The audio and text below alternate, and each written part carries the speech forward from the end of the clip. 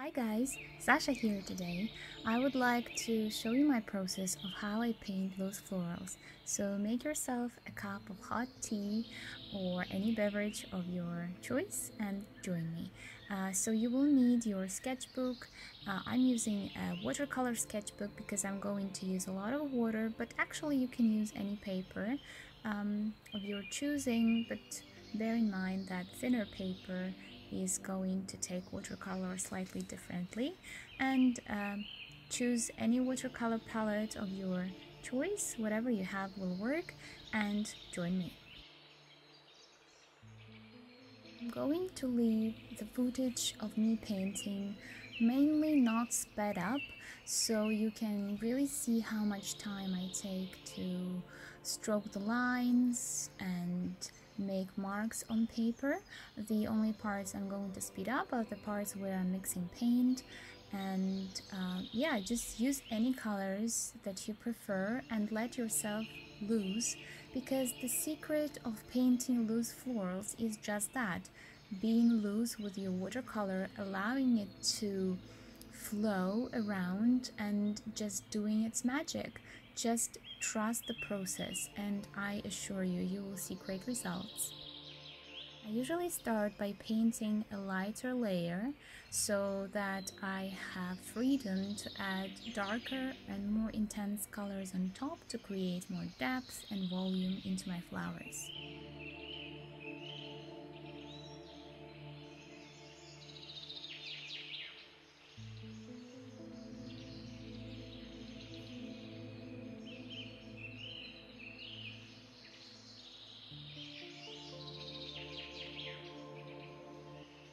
Mostly going to be working wet on wet. I'm not wetting the whole page beforehand, but I'm plopping the darker and more intense colors on top of my lighter layers while they are still wet, letting the colors bleed and blend into each other. And I think it creates the beautiful effect, uh, almost like the wind is blowing through the flowers and you can just see this beautiful uh, mix of purple and pinks and yellows and greens all together. This creates a lot of movement and air and you can almost smell the flowers.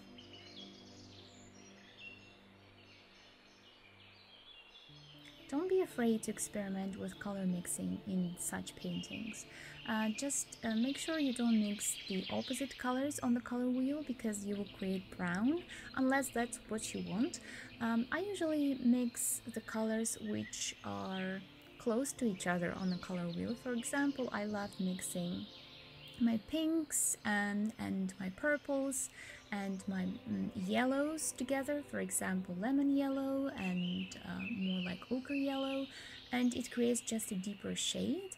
Make sure you don't mix more than three colors together to avoid creating mud. Um, also, don't be afraid to mix your own greens because usually the green that is already in your kit is most likely too bright and unnatural. Um, but if you really enjoy that color, use it. Uh, don't listen to me whatsoever.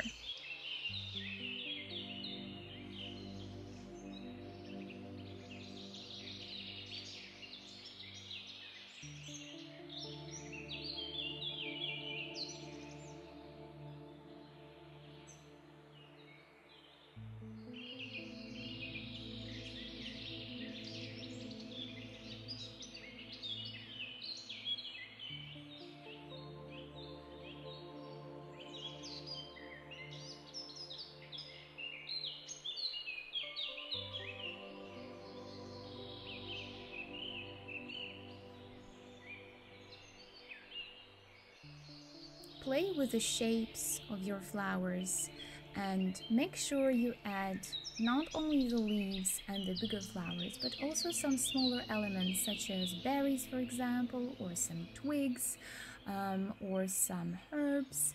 Uh, just make sure you give your painting some loose details. Don't concentrate too much on big shapes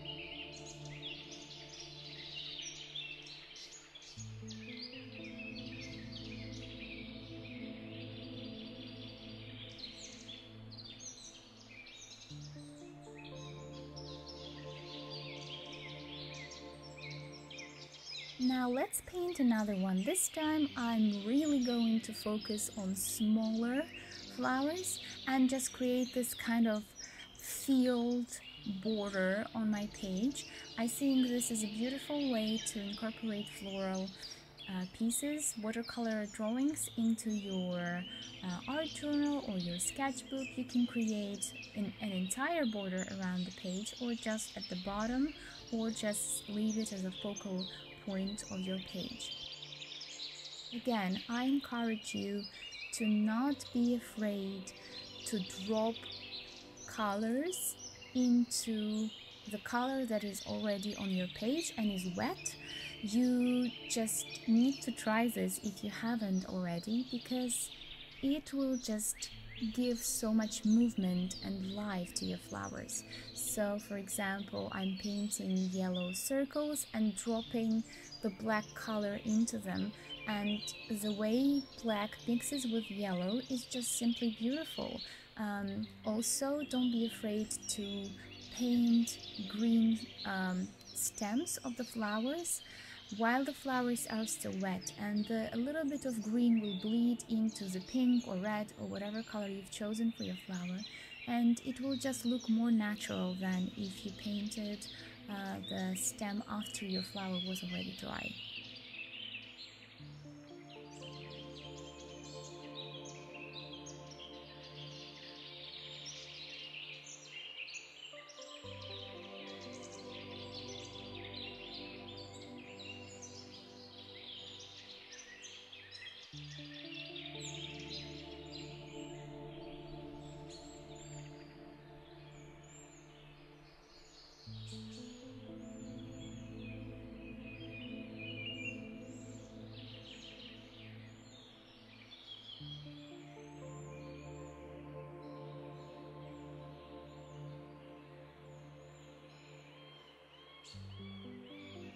One of my other favorite ways to mix colors on the page is to draw some kind of berries or small leaves and then take a darker color for the stem like for example black or dark green and draw the twigs uh, and stems of those berries uh, while they are still wet.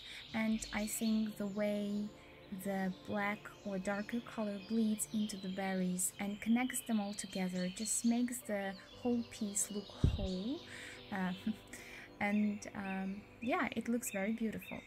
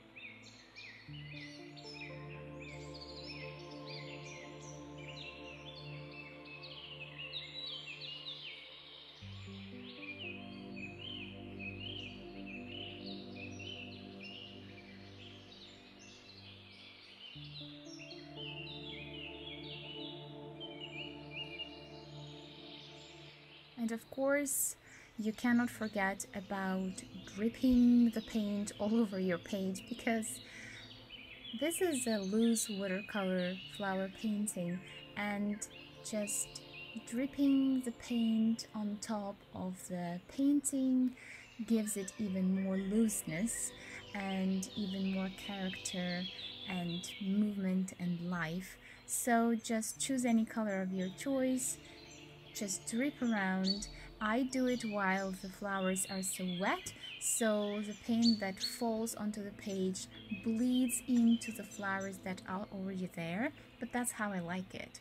If you don't feel like that's something you're going to like, wait for your flowers to dry and then do this. So I really hope you enjoyed this tutorial and you are going to let yourself play, let yourself loose, experimental. I know many of you are afraid because you've messaged me saying you cannot seem to let go and try to control the line and you don't really feel like letting go. So I challenge you to try it.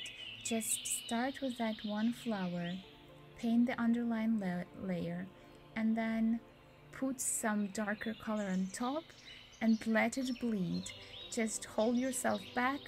Don't let yourself interfere with the watercolor magic. Let it do its thing and you will just see the magic happening right in front of your eyes. So please do it. Uh, please tag me if you create any paintings. I would love to see the results. Thank you for watching. I will talk to you soon. Bye!